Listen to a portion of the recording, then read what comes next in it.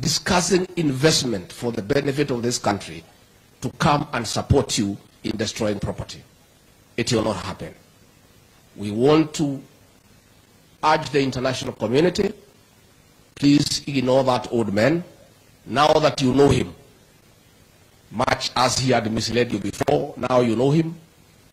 He's just a man who has gotten whatever he wants through violence and anarchy. And now that he's exposed, that sorts out the matter. Leave him to us. We'll sort out the other issues with him locally here without your involvement. Nikimalizia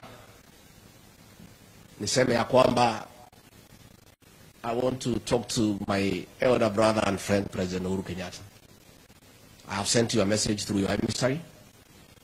Please, if you want to talk to us because you don't want to pay taxes, if you want to talk to us so that you can you don't return the money that you put abroad, you don't have to cause violence through like Odinga. You can call us for an honest conversation, and then we can discuss whether you pay tax, whether you don't, how, nini, we- tunaweza kubaliana. But it's also good for me to tell you, as you finance violence, violence is unpredictable. Many times, it comes to consume the financiers.